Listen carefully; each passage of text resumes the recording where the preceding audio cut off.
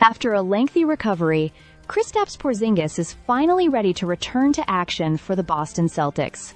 The Latvian big man, who has been sidelined for the first 17 games of the 2024-25 season, is reportedly set to make his debut on Monday night against the Los Angeles Clippers.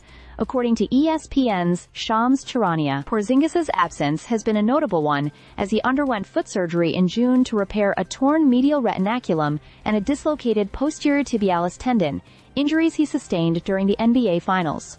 The big man, known for his versatile scoring and shot blocking ability, had played through the pain in the finals but missed key games and required surgery after the season ended. While he was able to play in a limited role during the finals, his recovery process has kept him off the floor since then. This marks a crucial return for the Celtics, who have had an impressive start to the season, sitting at 14-3 as they continue their pursuit of another championship.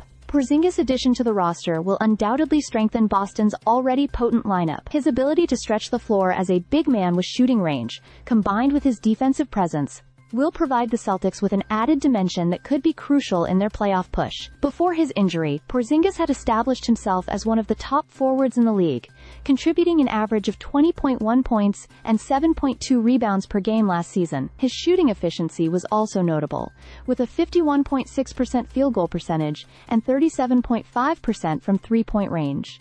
The Celtics offense will now benefit from his ability to space the floor, creating more opportunities for their star players including Jayson Tatum and Jaylen Brown. As Porzingis prepares to return to action against the Clippers, all eyes will be on how quickly he can regain his form after a long period of rehabilitation. With Boston currently holding the best record in the Eastern Conference, Porzingis' return could be the boost they need to solidify their position as championship contenders. Fans and analysts alike will be eager to see how the Celtics dynamic improves with his presence as they look to build on their success and make a deeper playoff run this season. Stay subscribed for more videos.